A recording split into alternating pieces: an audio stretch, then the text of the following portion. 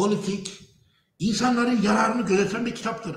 Buradan koptuğun an uzaya gidiyorsun, oraya gidiyorsun, buraya gidiyorsun. Kuşları parçalıyorsun, inekleri parça parça ediyorsun, mucize arıyorsun. Çünkü senin kafan darmadağın olmuş. Şirazen kaybolmuş yani. Şimdi bir insan şirazesi kaybolsa, çok zeki de olsa, şirazesi kaybolan adam okuduğu metninden hiçbir şey anlamaz. Çünkü kafa dağılmış. Gitmiş yani. İlkokul kitabını ver, onu da şirazesi dağınık bir adam saçma sapan anlar. Dolayısıyla şimdi bu şirazeyi kay- kaybetmemek lazım. Şiraze toplumsal, sosyal, politik, insanların yararına, pratik yarar olan şey neyse o anlatılıyordur.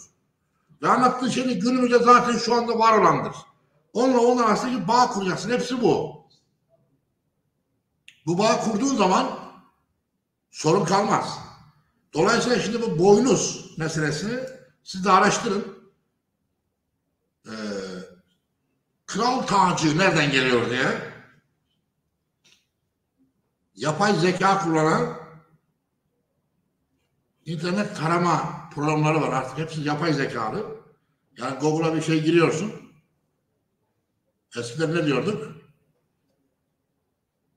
Kur'an, sünnet ve Google.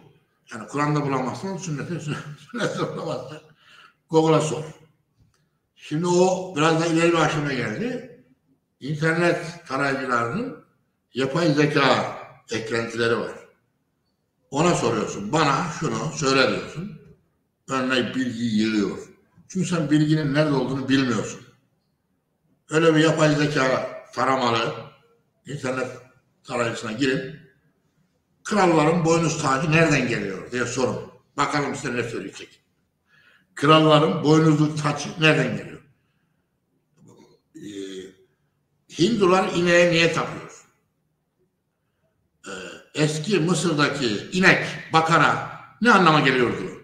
diye sorulduğu zaman yığınlarca bilgi dökülecek. Oradan oku ha oku.